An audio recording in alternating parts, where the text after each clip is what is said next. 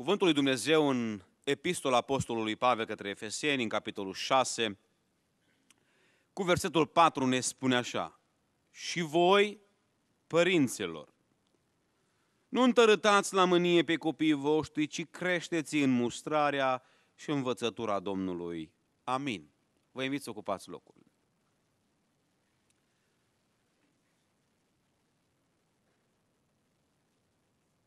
Cuvântul lui Dumnezeu în această dimineață are treabă cu noi cei, mai tu, cei maturi. Deseori am auzit predici la binecuvântare în care cei de la Învon le predicau copiilor, tinerilor. Mai rar am auzit predici predicate părinților. Mereu se spunea de când eram mic, voi copiilor trebuie să ascultați, trebuie să ascultați. Însă mai greu e să predice părinții părinților. Haideți să ne uităm noi, cei maturi, să vedem ce ne spune Biblia nouă. E adevărat, partea copiilor este importantă și nimeni nu poate înlocui asta. Un copil neascultător nu poate fi transformat în niciun fel decât dacă Dumnezeu îl transformă. Dar până acolo aș vrea să vedem ce avem noi ca părinți de făcut. Și mi-am numit în această dimineață mesajul metode biblice de educare a copiilor. Pentru că mulți spun, frate, tu nu poți să înveți că n-ai copii. M-am uitat în Biblie, am spus, hai să ne uităm ce ne învață Biblia.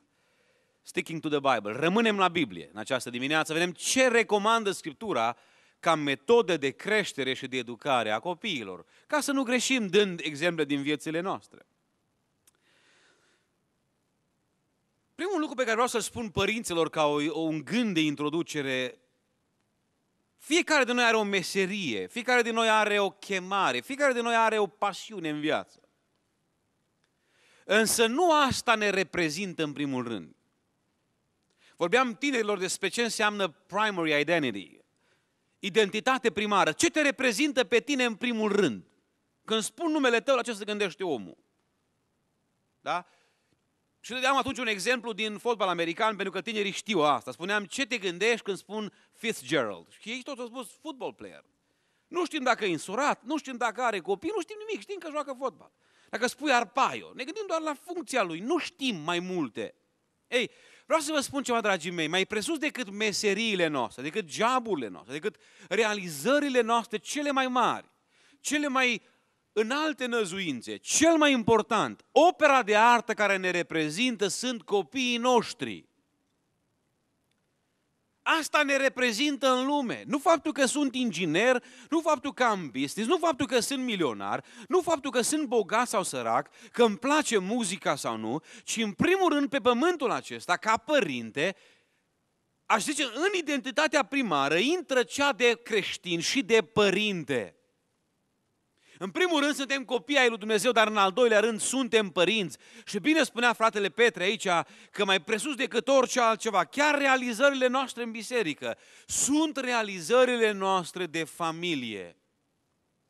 Imaginați-vă că suntem niște sculptori și asta este opera noastră cea mai importantă, the masterpiece. Copilul meu este opera mea de artă cea mai înaltă. Spuneam și duminica trecută în Biserica Eclesia, un sculptor a fost întrebat, Domnule, cum ai reușit tu dintr-un bloc de piatră uriaș, fără formă, să sculptezi tu un Mihai Viteazu pe cal, așa de frumos, cu detalii? Cum ai reușit? La care sculptorul simplu a zis, păi e foarte ușor.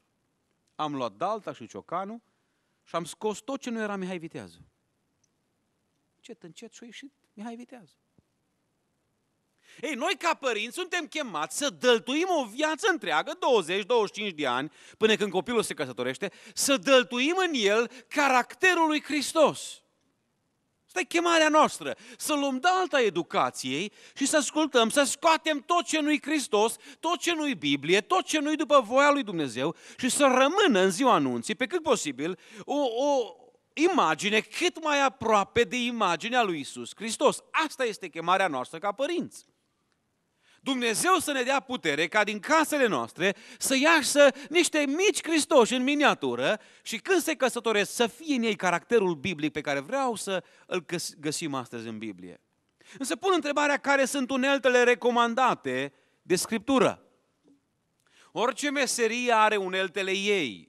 Și nu poți să faci zidărie cu unelte de zugrăvit, nu poți să faci tâmplărie cu unelte de construcții de altă natură. Nu se poate. Ai nevoie de anumite unelte specifice muncii tale. Eu nu cunosc tot ce lucrează fiecare dintre dumneavoastră, dar din când în când mă mai chemau frații, hai să ne întâlnim la Starbucks, hai să ne întâlnim cu tare. Și veneam cu trocul și mă uitam în troc. Și știam ce lucrează, că dacă are roll sau trafalet în limba română, înseamnă că e painter. Dacă are mistrie, e zidar. Dacă avea știu eu ce, știam. După sculele din troc știam cam ce lucrează fratele. Ei, care sunt uneltele pe care Dumnezeu le prevede în Biblie pentru creșterea copiilor noștri? Spune cuvântul aici, părinților, creșteți în mustrarea și învățătura Domnului. Prima unealtă, cea mai recomandată de Biblie, dragii mei, este învățătura, teaching. Dumnezeu ne dă copiii în familiile noastre ca să îi învățăm. Părintele mai presus de orice este un mic învățător, un mic maestru în viața copilului. Învață-l. Drag părinte, nu poți să pretinzi copilului ceva ce nu l-ai învățat. Nu poți să-ți pleznești copilul pentru ceva ce nu e explicat. Învățătura este prima unealtă pe care Dumnezeu ne-o cere în familie. Învață-l! Fă-ți timp, este cea mai grea parte a educației, pentru că cere răbdare. Trebuie să explici copilului în limba lui de 2 sau 3 ani, trebuie să intri în lumea lui, în imaginile lui și trebuie foarte, foarte multă răbdare. Nu e așa că e mult mai ușor să-i dai o palmă să, de, să te descarci? Nu e așa că e mult mai ușor să țipi la el, să spui, mă, ți-am spus, dar nici nu i-ai spus, poate. De aceea Dumnezeu recomandă mai presus de orice învățătura Domnului. Stimat părinte, oricât ești de grăbit, oricât e important de businessul tău, oricât e de greu să ai răbdare cu un copil de 2-3 ani care nu pricepe, este datoria noastră sacră să învățăm. Cere răbdare, cere mulți nervi, dar asta recomandă Biblia în primul rând.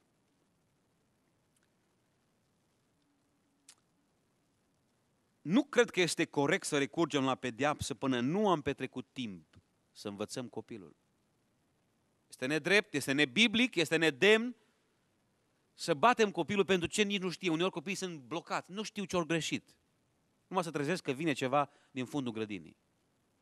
Și nu știe de ce. Pentru că n-ai, nu ți-ai făcut timp să explici de ce nu-i bine. Care este regula pe care a încălcat-o, pentru care merită eventual să fie pedepsit. Dragii mei, învățătura, spune Scriptura, are un efect extraordinar pe termen lung, mai presus decât orice. Spune cuvântul Domnului în, în Proverbe 22, capitol, cu versetul 6, învață pe copil. Învață pe copil calea pe care trebuie să o urmeze și când va îmbătrâni, nu se va abate de la ea.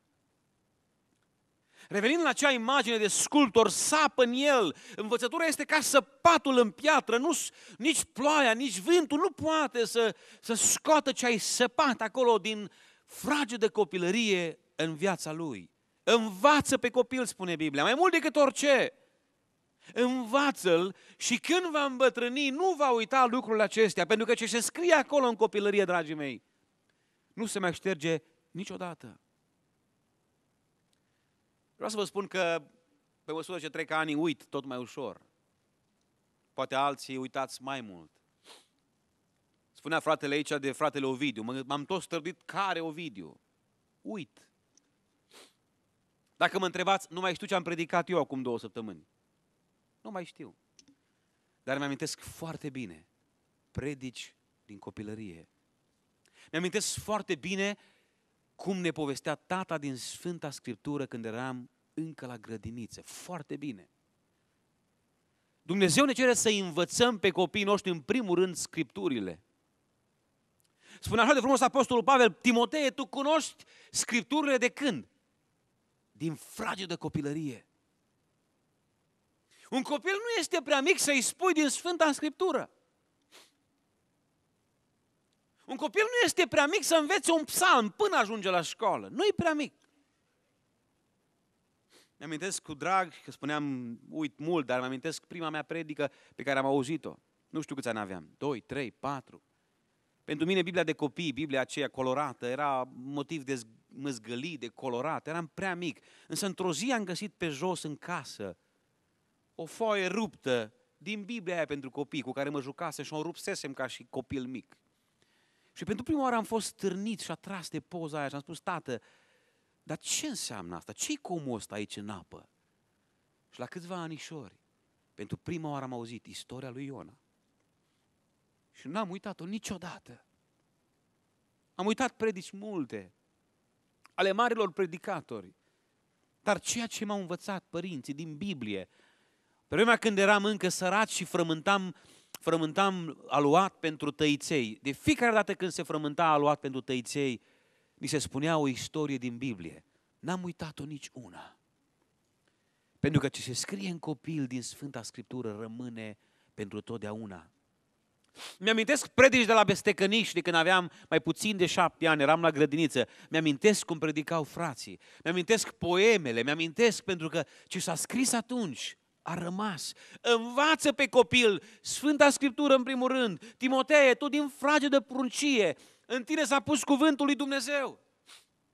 Dumnezeu ne cheamă să învățăm copiii Sfânta Scriptură. Înainte să vadă desene animate și Tom și Jerry și mai știu ce nebunii, să vadă cuvântul lui Dumnezeu. Culmea, nu sunt prea tineri să vadă violență, nu sunt prea tineri pentru Xbox, dar sunt prea tineri pentru Biblie.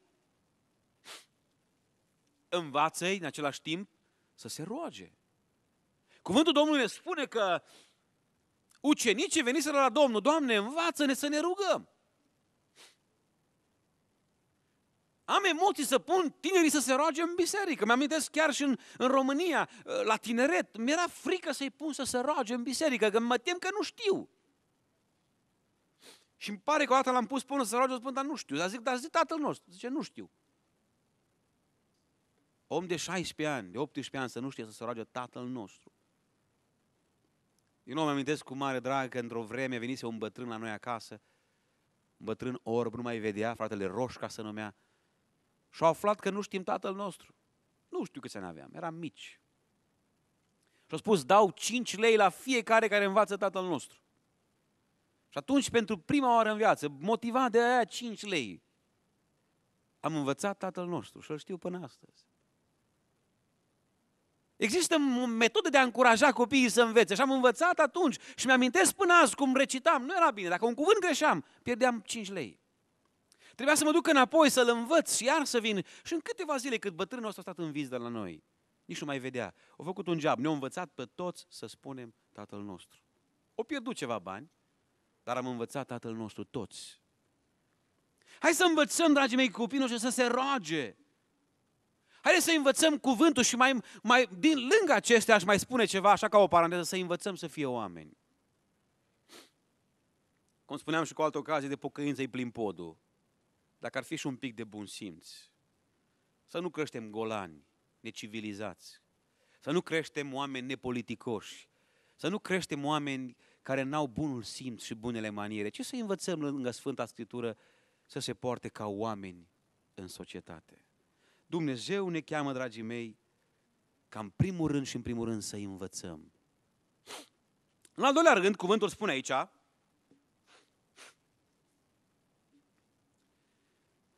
Și voi, părinților, nu întărântați la mânie pe copiii voștri, ci creșteți în mustrarea și învățătura Domnului. Dumnezeu ne dă o a doua unealtă de folosire pentru copii, mustrarea și certarea. Biblia recomandă o astfel de unealtă în formarea caracterului copilului. Adică ce-i mustrarea asta? Este tot o discuție cu copilul. Este tot ceva verbal, dar este cu o încărcătură. Este, dacă vreți, pe caz, pe situație concretă și este în formă negativă. E o învățătură mai aspră. Măi, ți-am spus să nu desenezi pe pereți. Ți-am spus să nu mai zici prostule sau știu eu ce alte cuvinte ne, nepotrivite. Ți-am spus că la noi în casă asta e regula, trebuie să te pui în pat la ora cu tare. Este tot un fel de învățătură, dar este în formă negativă. Să nu faci asta. Să nu mai faci cu tare. Să nu mai zici cuvântul cu tare. Și uneori este și pe un ton mai aspru. Biblia prevede asta. De altfel, În cultura noastră cearta este o ofensă. Doamne, cum să-l ofensezi pe copil? Cum să-i spui cuvinte negative? Cum să-i spui, este un abuz emoțional să-l cerți, să-l mustri, să-i spui că n-are voie. Asta învață psihologia modernă, însă, dragii mei, cred că nu este niciun atac la adresa personalității copilului să-i spui că nu are voie să facă ceva. Nu este nicio greșeală să-l admonestezi verbal, să-i spui, domnule, nu îți este permis. La noi în casă avem regula cu tare și regula cu tare. Nu se poate, nu se poate. Păi tati vreau, nu se poate. Trebuie să învățăm să spunem nu copiilor noștri, oricât de mult să dau de pământ, oricât de tare învață să țipe, să manipuleze, oricât de bine știu să pozeze, dragii mei, haideți să învățăm această unealtă. Biblia spune că trebuie și mustrare. S-o predicat nu de mult aici. Și știți că s-a vorbit de mustrare, de necesitatea ei. E important, mai ales astăzi când pentru noi totul e numai încurajare. În această cultură este, este, dacă vreți, sponsorizată în toată filozofia educării copilului, numai încurajarea. Încurajare, motivare, incentives, să dai daruri, să-i motivezi numai într-un sens pozitiv. Nici într-un caz să îi privezi de dreptul, nici într-un caz să nu-i pedepsești într-un fel mai dur, ci să-i motivezi, să le promiți ceva ca să facă binele. Frații mei, e adevărat.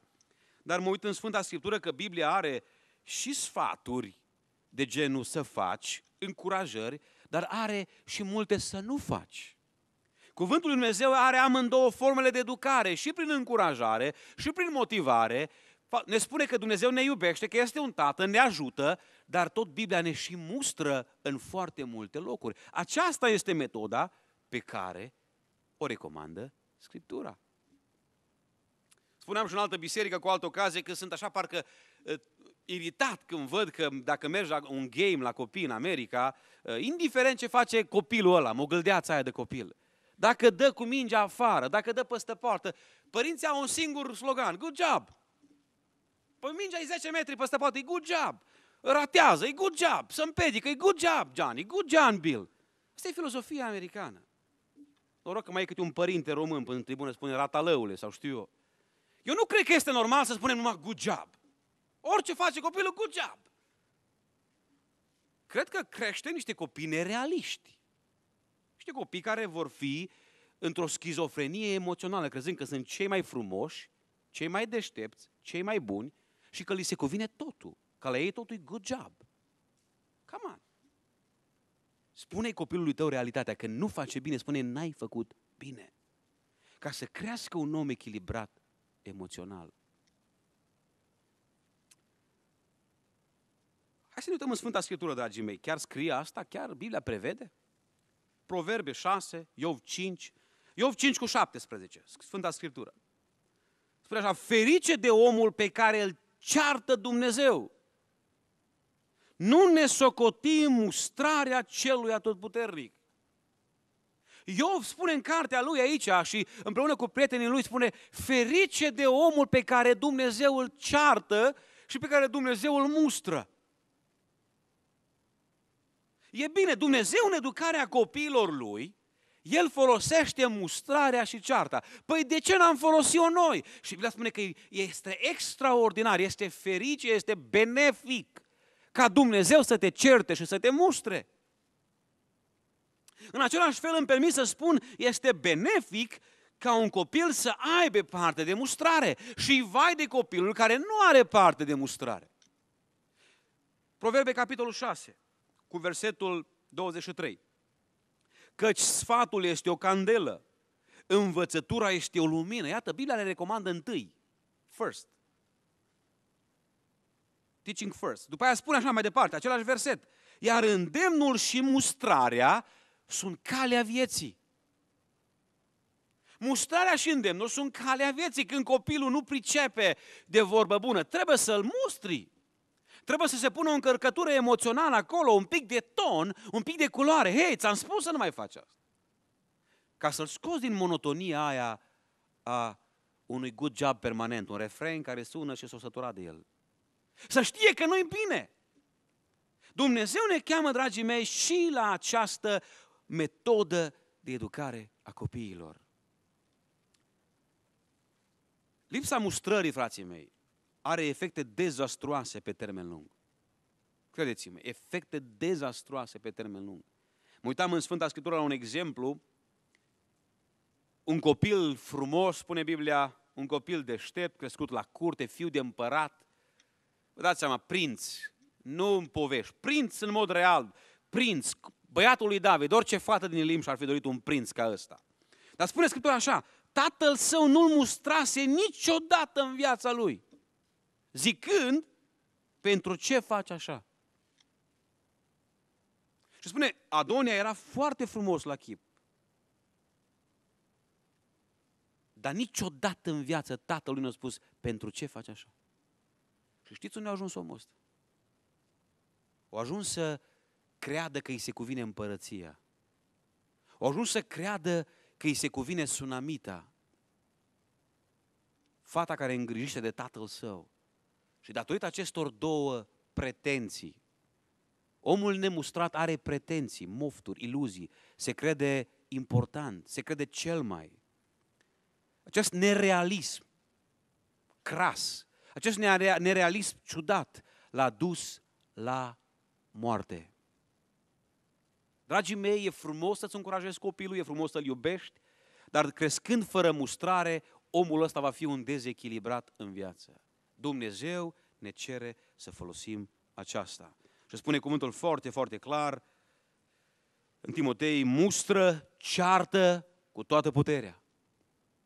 Se spune aici la acel studiu despre mustrare că de fapt îndemnul și mustrarea asta sunt ca un fel de antibiotic. Și vreau să repet gândul acesta că ați fost puțini atunci, spune cuvântul așa de frumos în, în Tit, acolo în Tit 1 cu 13, spune, mărturia aceasta este adevărată, de aceea mustră aspru, ca să fie sănătoși în credință. Chiar la nivelul bisericii și la nivel de familie, mustrarea aduce sănătate în credință. Și spunem atunci că mustrarea e ca un antibiotic. Oricât de mult încerci tu să ajuns tu boala cu ceaiuri și eu cel puțin de o lună, spuneam și atunci și chiar o mai am, de o lună port pe picioare, tu se asta seacă și am dat cu ceaiuri, cu siropuri, așa îmbeți boala de cap. Atunci când ai un virus puternic, îți trebuie antibiotic. Pentru că ăla ucide microbul. Ei, tot așa, ă, e bună încurajarea și în biserică, e bună motivarea. Că spun lui frate, dar nu vrem să fim biciuiți, dar nu e vorba de biciuite. Biblia are în aceeași măsură și mustrare și încurajare. Și dacă Dumnezeu își mustră copiii, noi de ce am peria? De ce am peria pe ei noștri? Dumnezeu ne cheamă să fim gata să folosim și mustrarea. Mai mult cuvântul spune acolo, hai să citim în Proverbe 29. Mergem mai departe și ne apropiem tot mai mult de zona fierbinte în această cultură. Proverbe 29 cu 17. Pedepsește-ți fiul și el îți va da odihnă și îți va aduce desfătare sufletului. Pedepsește-ți copilul și el îți va da odihnă. Tot în Proverbe, în capitolul 20, în capitolul 19 cu 18, cuvântul spune ceva similar. 19 cu 18 pedepsește-ți fiul, căci tot mai este nădejde. Dar nu dori să-l omori. În al treilea rând, Biblia recomandă aici pedeapsa. Mustrarea este o admonestare verbală, însă când copilul nu mai înțelege nici de mustrare, se cere pedeapsa. Pedepsește-ți copilul, spune Biblia. Nu dori să-l omori. Să nu fie o pedeapsă prea aspră. Dar spune Biblia, dacă îl pedepsești, mai este încă nădejde. Te, te descurajezi uneori, îi spui o dată, de două ori, îl mustri și tot face. Biblia spune, mai este nădejde. Știți care e nădejdea? Pedeapsa. Poate de pedeapsă va înțelege. Și de foarte multe ori copiii înțeleg de pedeapsă, uneori mai bine decât orice altceva, pentru că poate că e mai greu cu logica la început, îi explici. Dar când vine pedeapsa, omul știe, a, principiul cu tare și îl amintește imediat. Pentru că e mai greu să facă conexiuni logice când sunt mici, de aceea știe de pedeapsă. Copilul știe că dacă pune mâna acolo, se arde. Copilul știe că dacă face cu tare lucru, urmează pedeapsa. Ca atare, prin acest, acest mecanism de încurajare, ă, mustrare, pedeapsă atunci când este cazul, copilul învață adevărul, învață ce este bine și ce este rău. Dumnezeu ne recomandă să facem lucrul acesta. De fapt, pedeapsa arată gravitatea faptei. Uneori copilul nu este capabil să evalueze moral cât e de grav Însă când pedeapsa este proporționată cu greșeala, copilul știe, a, atunci când fac asta, tata mă bate, înseamnă că aici e o problemă, e ceva grav și învață că acel lucru este mai grav decât altele. Învață, dacă vreți, moralitate comparativă. Știe că pentru anumite fapte se cuvine pedeapsa, iar pentru altele nu. Și înseamnă că acel lucru este foarte rău. Și omul învață ce este bine și ce este rău în felul acesta. De altfel, dragii mei, nu vreau să mergem la, la filozofii omenești. Hai să vedem ce spune Biblia despre Dumnezeu. Cum își educă Dumnezeu copiii? Evrei, capitolul 11. Spune așa, căci Domnul pedepsește pe cine iubește și bate cu nuiaua pe orice fiu pe care îl primește. Suferiți pedeapsa, Dumnezeu se poartă cu voi ca și cu niște fii. Căci care este fiul pe care nu-l pedepsește tatăl? Și mai jos spune foarte clar despre părinții trupești care ne-au pedepsit și le-am dat cinstea cuvenite, spune așa de foarte clar. Căci este adevărat că orice pedeapsă deocamdată este o pricină de întristare și nu aduce bucurie, dar mai pe urmă aduce celor ce au trecut prin școala ei roada dătătoare de pace a neprihănirii. Dumnezeu își pedepsește copiii. Și spune că El face tocmai ca părinții noștri omenești. Și totuși le-am dat cinstea, este normal să-i cinstim. Și spune clar, este bine să treci prin școala dătătoare de viață a pedepsei. Dumnezeu ne cheamă să folosim și asta. Vreau să vă dau un exemplu foarte simplu acum. Primul model este Dumnezeu. Dacă Dumnezeu ne administrează durerea în scop educativ, într-o măsură limitată, măsurată de El, ne îngăduie în viață durerea ca să învățăm binele. De ce n-am îngăduit noi durere într-un mod proporționat, calculat, echilibrat în viața copilului ca să învețe binele? Să vă dau un exemplu. Dacă n-ar exista pe lângă reguli de circulație și pedepse aspre, și amenzi, și arestări, cum ar arăta traficul în America? Cum ar fi să mă oprească polițaiul pe, pe dreapta, spună, ă, știi, ai trecut de speed, te rog să conduci mai încet, please, slow down. Și să mă lase în pace. Și a doua oară la fel, domnule, nu există amenzi. Nu există metode de pedepsire. Mă oprește, îmi spune, mă roagă frumos să conduc. Cum ar fi? Ar fi o tragedie. Dacă nu ar exista metode de corecție care să doară. Când sunt îngândurat și conduc și crește speed-ul, mă uit și văd. Hop, am 20 peste. Asta înseamnă jail. Dacă n-ar fi gândul ăsta acolo că la 20 peste mă duce la jail, n-aș frâna. Why? aș merge mai departe. Dar știu că s-ar putea să apară oricând un polițai, cam 10, cam 5, cam 15, cam 20 de maile peste și urmează jailul sau urmează o amendă usturătoare și pentru aia 2-300 de dolari. You slow down.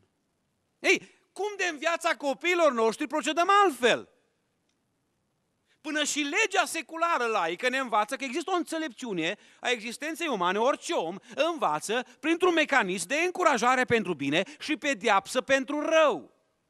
Cum se face că noi nu știm numai de good job, de haguri, de jucării, le luăm orice și nu există mecanismul acesta pe care Dumnezeu însuși îl aplică în viața copiilor lui. Ce tată este ca Dumnezeu?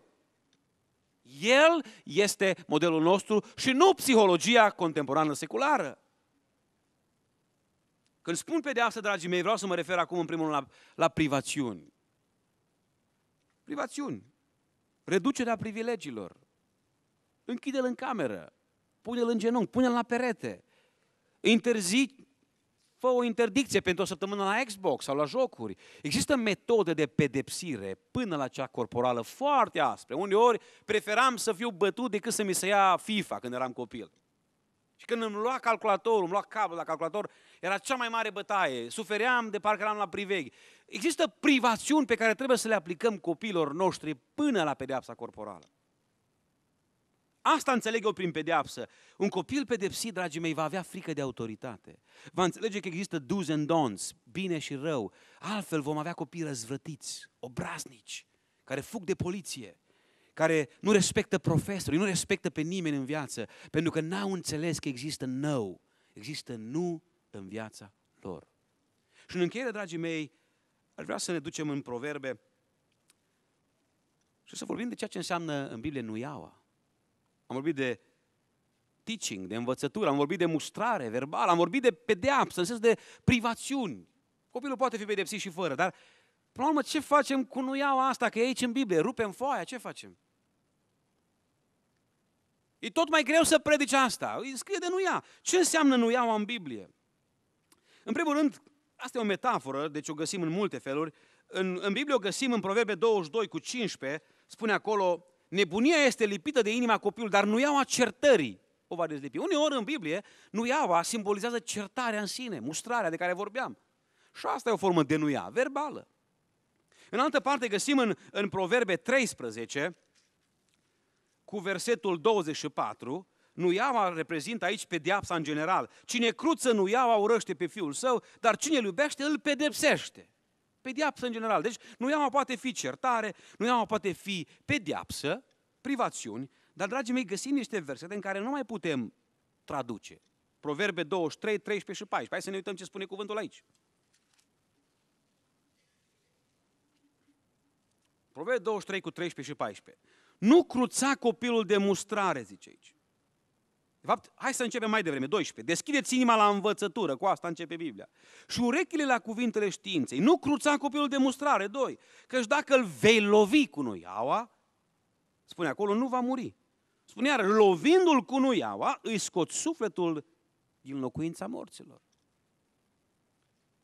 Oricum am vrea să o interpretăm, dragii mei, într-o Americă modernă, aici spune lovindu-l cu nuiaua. Biblia ne vorbește foarte clar de pedeapsa corporală, de corecția fizică pe care o recomandă Sfânta Scriptură.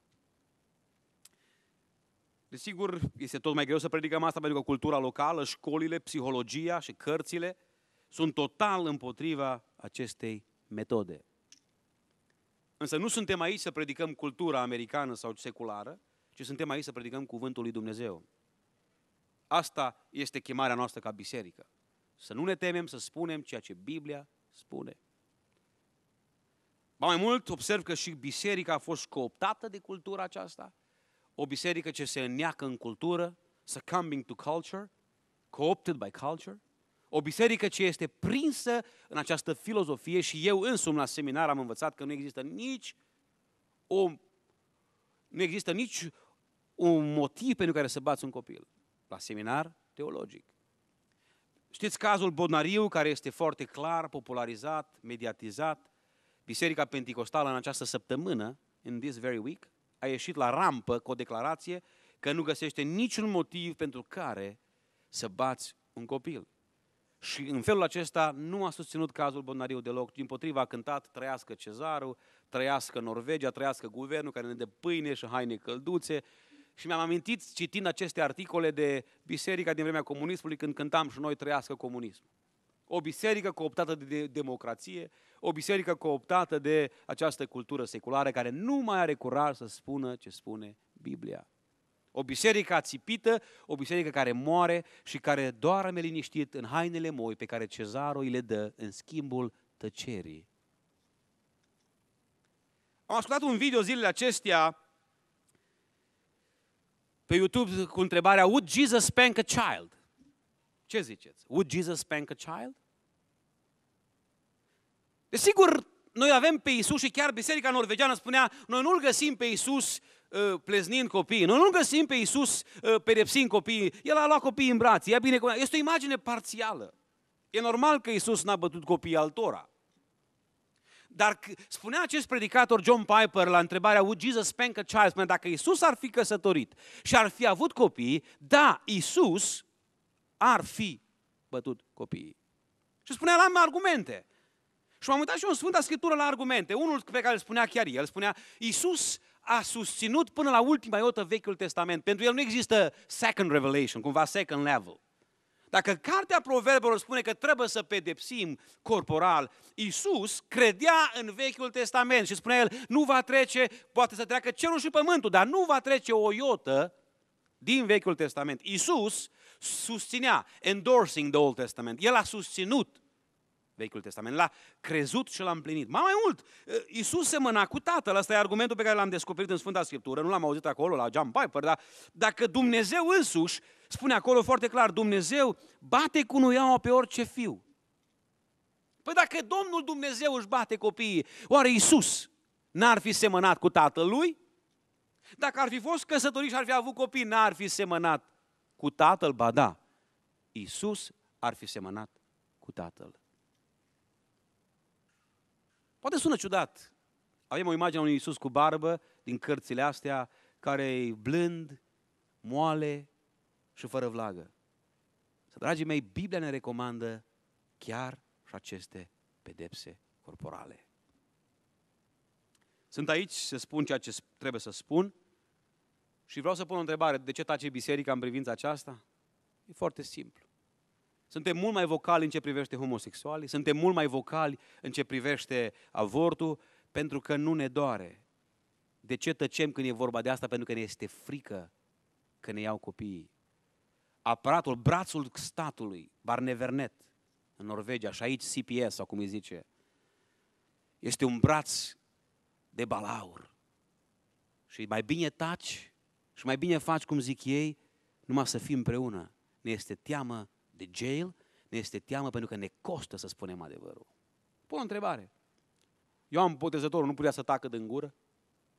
Ce o trebuie să se bage în viața împăraților? Nu era clar că împărații sunt curvari? Dar nu era clar că împărații au femei? Dar nu era clar că împărații își împlinesc poftele cum vor? Nu putea să tacă, dar nu știa Irod că e păcat să prea curvești, dar nu putea să tacă? Și totuși a vorbit și și-a pierdut capul. Spunea John Piper și mi-a plăcut, zice, eu sunt gata să merg la jail pentru acest adevăr. Suntem gata să plătim prețul și să spunem lucrurilor pe nume și să fim o voce care nu tace, ci vorbește ceea ce trebuie să vorbim? De ce ne este teamă la acest aspect să vorbim adevărul? Haideți să fim gata să rostim ceea ce Biblia rostește? Însă vreau să închei cu niște observații, că ceva, ceva spune și legea asta. Nu înțeleg prin bătaie, dragii mei, prin pedeapsă, prin pleznirea copiilor, uh, prima metodă, cea din tâi, ci este ultimul rezort la care trebuie să apelăm. Există învățătura, există mustrarea, există pedeapsa, restricție și apoi este adevărat, dragii mei, că în această biserică noi oscilăm între o cultură americană care spune nu ai voie să-l atingi și una, una românească care îți dă bătaie soră cu moartea.